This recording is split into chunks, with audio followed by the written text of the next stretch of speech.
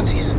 I don't care if it's Hitler's personal pleasure cruiser. This is the only ship that we've came across in the last. Raise your voice now. He's right, Captain. The Russians are done. We got to get off this raft. Simple as that, Captain. You know what I think is strange? Come on, Cap. Hey, why don't we just throw overboard? Oh, enough! All this, this fighting and shouting.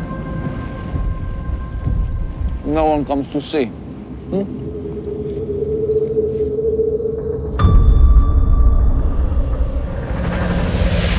Engine's running, but Nobody's home. Bet this tub's still crawling with krauts. I heard flyboys talking about gremlins causing all kinds of trouble. You know, whatever happened on this ship, it wasn't gremlins. Something far more real. They brought these caskets on board. One of these things got out. Bigelow! Get fucked.